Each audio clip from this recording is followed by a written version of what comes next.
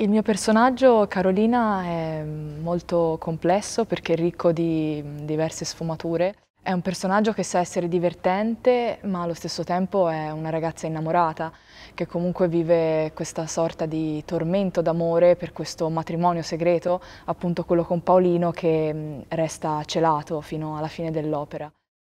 Uno dei momenti più toccanti dell'opera credo che sia quello del recitativo accompagnato di Carolina nel secondo atto e credo che con questo si arrivi a, ad un apice di, di, momento drammatico dal punto di vista emotivo